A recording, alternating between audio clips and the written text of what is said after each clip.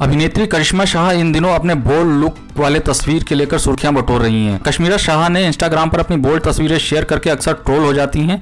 कश्मीरा शाह ने इंस्टाग्राम पर ऐसी तस्वीर साझा की है, जिसके बाद उनकी ट्रोलिंग शुरू हो गई। इन तस्वीरों में वे रेड कलर की बिकनी पहनी हुई नज़र आ रही है। साथ में अभिनेत्री ने ब्लू कलर की साटिन की शर्ट पहनी हुई है।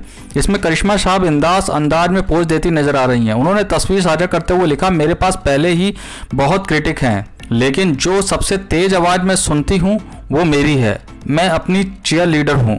तो आगे बढ़ो और ट्रोलिंग करने में मेहनत करो। आखिरकार मेरे प्यारे हिटर्स को कुछ काम करने के लिए तो चाहिए। वहीं अंकिता लोखंडे ने करिश्मा की इस तस्वीर पर लिखा, करिश्मा, ये बहुत मोटिवेटिंग है। आपकी जैसी बॉडी पाने की विश चाहती हूँ। इसके अलावा एक फैंस ने लिखा, वाओ गॉर्जियस सारे हिटर्स जलते हैं क्योंकि उनके पास आपके जैसी बॉडी नहीं है। एक अन्य यूज़र्स ने लिखा, सिर्फ़ गधे ही आप जैसी प्रेरित करने वाली से जल सकते हैं। बता दें कि कॉमेडियन और एक्टर कृष्णा अभिषेक की पत्नी कश्मीरा बिग बॉस चौदह में दिखाई दी थी। यह पहली बार नहीं है कि कश्मीरा को अपनी किसी वीडियो या फ़ोटो पर ट्रोलिंग झेलनी पड़ी है। इससे पहले भी कई बार लोगों ने उन्हें इस बात पर बुरा भला कहा है।